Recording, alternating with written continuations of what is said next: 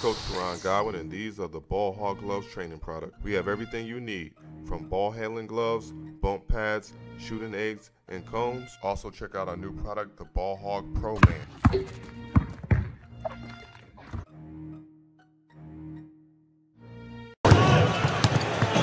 And Carmelo averages about eight rebounds per game.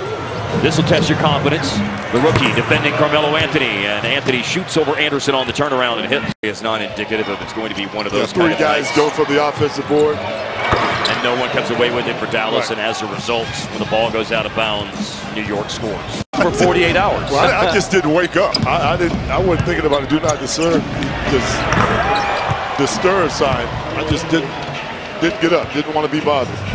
Right. Mm-hmm. You had an injury like that in those days. Now, a minute ago, you were talking about that you didn't play well as a rookie, so so shopping for outfits gave you an opportunity to pacify yourself. Lost 10 of the last 13 games. Yeah. So are we? And still have a shot in the playoff. I mean, you're not that far out, so uh, that, that's somewhat surprising.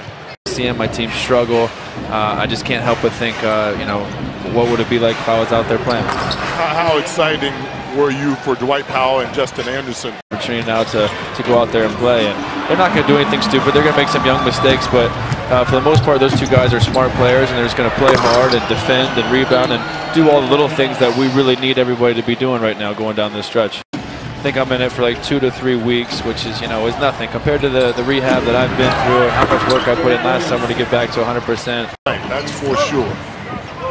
And back into the picture rotation-wise, last three games averaging 22 minutes as Carmelo Anthony hits a three-pointer. JJ just missed for the Mavs as they had a chance to creep to within five. Melo with a jumper. The scoring is limited just a couple of people tonight. Somehow. Matthews, the defender. Carmelo on the turnaround shot. Got it. That's Carmelo at his best. Matthews will be tasked with defending Carmelo Anthony. Now it's a follow inside with a basket. Row here with Lopez and Carmelo. He, he's looking for space. He pulls up off the ah. foul. Oh, and he made the shot. Well, that's tough.